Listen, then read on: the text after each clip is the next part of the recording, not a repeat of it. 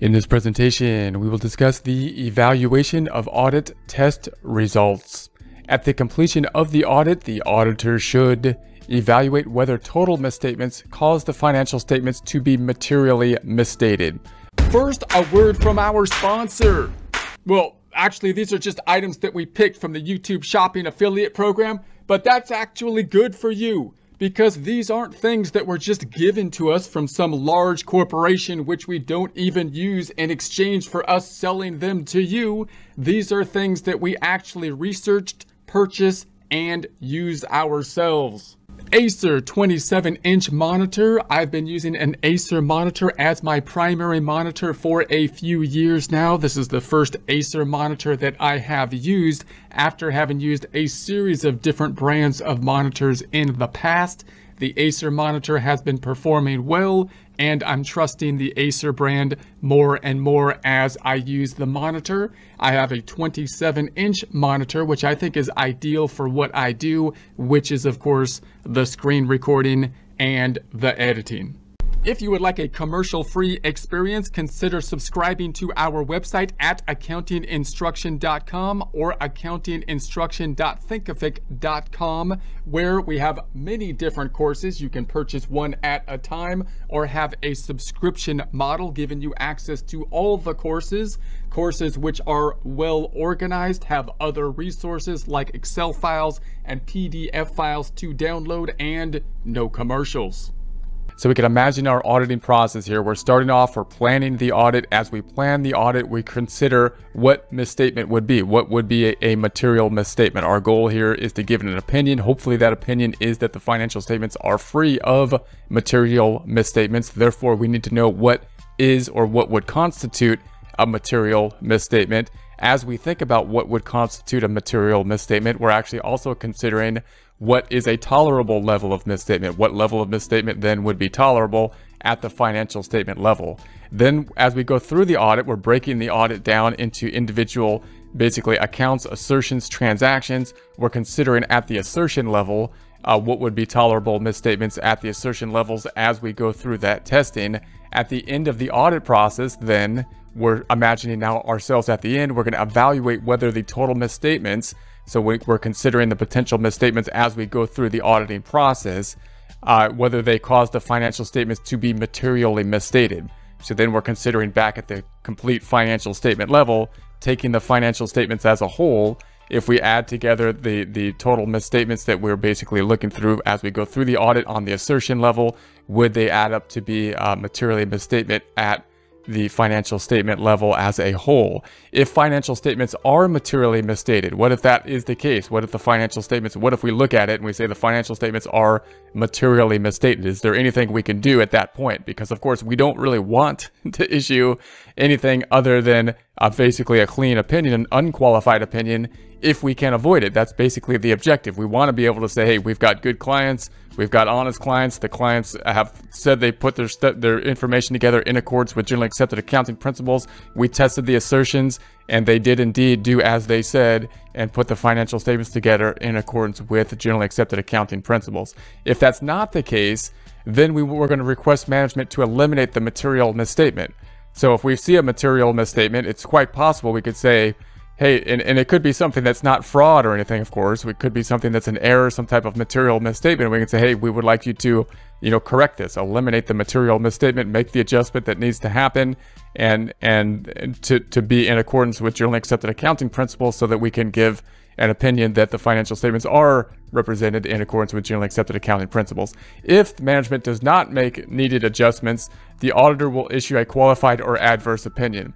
And this could happen if, the, if management says, I'm not going to do that. It might be the case, uh, again, it might not be the case where there's basically fraud happening here. The management might have a reason and say, hey, I think that it should be represented in this way for one reason or another. And we're going to say, well, look, it, we have generally accepted accounting principles, and generally accepted accounting principles say that you have to put it in this format, and we're giving an opinion as to whether the financial statements are in accordance with generally accepted accounting principles your idea of I want to report it this way because it makes sense makes sense, but it's not generally accepted accounting principles, possibly, right? So we could have that kind of kind of issue on a one or uh, one basically issue. And if that's the case and we can't resolve it, then of course we have to re- report it on our audit opinion. So if it's just one type of thing that that's the case in, then we're going to say, hey, that you know they're basically on generally accepted accounting principles, except this one item which is deviating from generally accepted accounting principles, and possibly explain why you know management thinks it's important to to represent that and take that deviation resulting in a qualified opinion as opposed to an unqualified opinion. If it's more uh, pervasive than that, or if there's a lot of things going on, then we have to give an adverse opinion. And obviously, an adverse opinion on the financial statements is, is pretty much useless to the company. So at, at that point in time, we we uh, if if there's no agreement on the financials on the on the action that the management should do in order to put the financial statements, uh, we might have to also just disengage from the engagement at that point in time. And if we don't it, disengage, if it comes down to giving an adverse opinion or disengaging, uh, oftentimes it ends up in you know a disengagement at that point in time. So if auditor decides that the misstatement is or may be the result of fraud and that the effect may be material, the auditor should then obtain audit evidence to determine whether material fraud has occurred and the effect. So we're going to dig down into the fraud uh, to see if it has a material effect. And and notice our focus here is is really on the financial statements. It's it's not necessarily on the fraud in and of itself. It's on what is the fraud, the nature of the fraud that we want to dive into is what's going to be the effect on the financial statements because of course our goal here is to make an opinion on the, the financial statements and the reporting of it not necessarily as it would be in say a, a criminal type case or if we're auditing from a forensic type of situation to, to look for a criminal type of or you know fraud type of activity we, we will pursue that but notice where our aim is our goal is at is at trying to see what the financial statements and if the financial statements are presented uh, fairly. That's our primary purpose. That's what we are engaged to do. Think about implication to other areas of the audit. So just, if there's a fraud here, does this have implications elsewhere? And one way we might do that if it's if it's lower management, if it's lower employees that committed the fraud or something, even if it's substantial, then the question is, well, what other types of areas do they have influence over? possibly not many because of internal controls, because of separation of duties. If the fraud, on the other hand, is in upper levels of management, again, that, that then gives us pause. We're saying, well, now it's possible if there's fraud at that level of misrepresentation or misstatement, then it could be more pervasive because they have more influence, whereas lower level people have restrictions due to separation of duties. So we want to think about what, what, what does this fraud have a result on other areas of the financial statement and the credibility of the audit evidence that we have in the financial statements as a whole?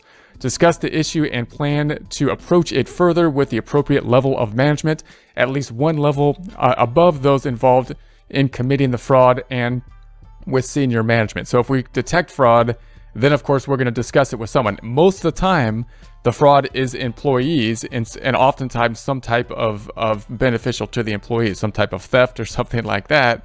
And if that's the case, then of course we talk to the proper level of management, possibly a one step removed, not the level right above, but the one above that, and then upper management. And again, we that hopefully is something that, that can then be detected at that level and taken care of uh, within the organization and not give us, you know, questions about the integrity of the upper level management, hopefully, which would be more problematic. Suggest the management consult with legal counsel. So we're always going to basically say, hey, you know, our, our objective here is to see that the financial statements are reported uh, and free of material misstatement.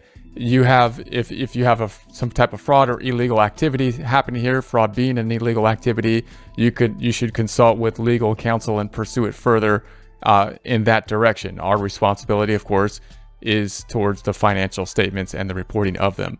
Think about uh, withdrawing from the engagement.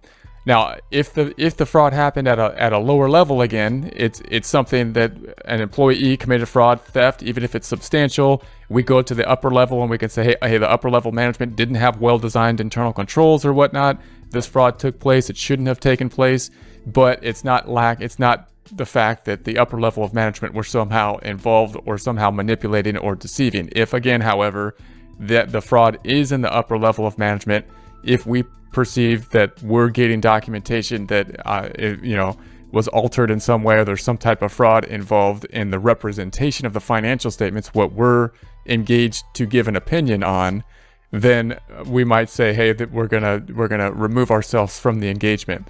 And again, that's not something we want to do because we waste a lot of time to do that. Because it, so we want to be able to determine this at the front end.